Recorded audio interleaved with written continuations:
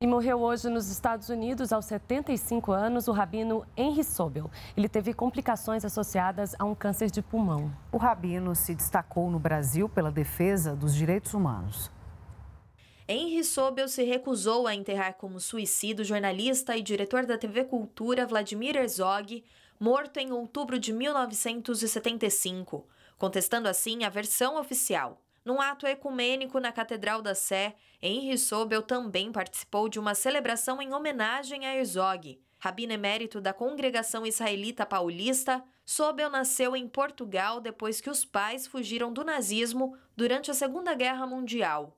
O sepultamento será no domingo em Nova Jersey. Em nota, a Federação Israelita do Estado de São Paulo diz que o rabino foi uma das maiores lideranças religiosas do país e estabeleceu uma ponte entre cristãos e judeus.